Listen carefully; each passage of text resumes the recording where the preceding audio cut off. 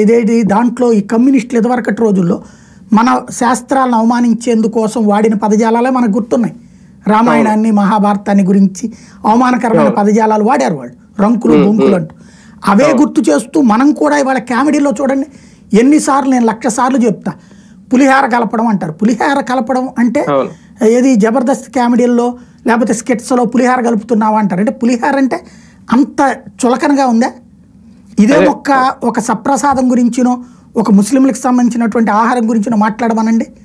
దేశం దేశం ఒక్కటేది అంటారు మనకి పులిహార గురించినో దద్దోజనం గురించినో పరవాన్నం గురించినో ఎన్నిసార్లు కామెడీ స్కిట్లు వేస్తారు దేవుళ్ళని జోకర్లాగా ఎన్నిసార్లు మారుస్తారు మనకి?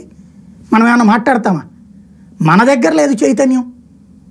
దానికి ఎవడేం చేయగలుగుతాడు పాపం? ఆయన ఒక చేయాల్సింది స్వతంత్ర వ్యవస్థ. కాబట్టి ఒక అంటే న్యాయ వ్యవస్థ కానీ లేదంటే ఇది కానీ ఇలాంటి ఆరోపణలు చేయొచ్చా? ఒక ఉప ముఖ్యమంత్రి హోదాలో ఉండి సమయం అవసరం లేదా అనేది కూడా? అయిపోయింది కదండి ఇంకా. దాంట్లో ఆ రోజు.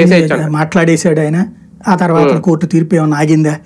వాళ్ళు అందుకనే కదా రాజకీయ డ్రామాలు వద్దని చెప్పింది.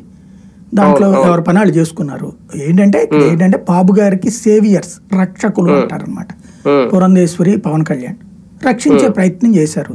కాకపోతే ఆ రక్షణకి న్యాయ వ్యవస్థ అట్లా పనిచేయలేదు. వాళ్ళు బాధ్యతగా వాళ్ళ పని చేసుకోలేదు. అంటే కాకపోతే ఫైనల్గా ఏంటంటే ఇప్పుడు సుబ్రహ్మణ్య స్వామి దీని మీద ఈయన మీదే పిల్లి ఏదో దాఖలు చేయబోతున్నారు అనేది కదా. అయ్యేం కాదండి అవన్నీ లైట్ సనాతన ధర్మం మీద ఈయన చేసిన వ్యాఖ్యలు